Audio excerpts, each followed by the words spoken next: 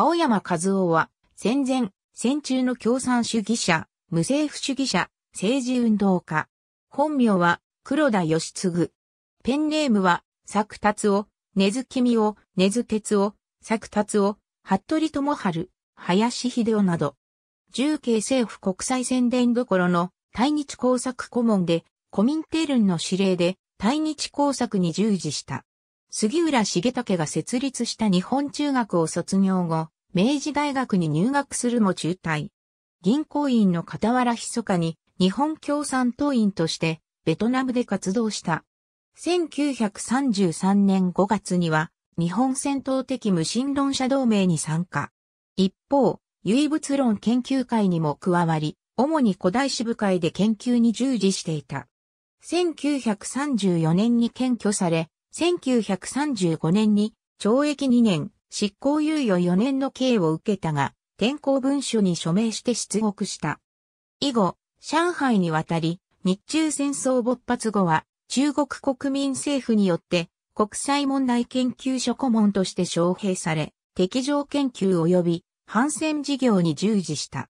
朝鮮民族前線連盟と交流し、武漢在住朝鮮人の状況をよく把握していたため、1938年8月、国際義勇軍組織計画法案を立案して、朝鮮義勇隊を創設、参加した。また、青山研究室を設置して、反戦捕虜組織の設置を進め、梶渡とは、日本人民反戦同盟の主導権をめぐって、対立関係にあった。1940年4月1日、鎮遠の和平村収容所にて、反戦捕虜組織の和平村研究班を設置。同研究班は1943年9月、日本民主委員会に改編。1943年、国民政府への協力拒否を貫き捕虜の中で、一定の勢力を持っていた山田真治少佐に誘引工作を行うも拒否される。1944年末頃に火事に敗北し、山田少佐からも拒絶、以降は軍党などの国民党特務と結託し、反戦同盟と対立関係にある右派組織の日本民主革命同志会を盛り立てようとした。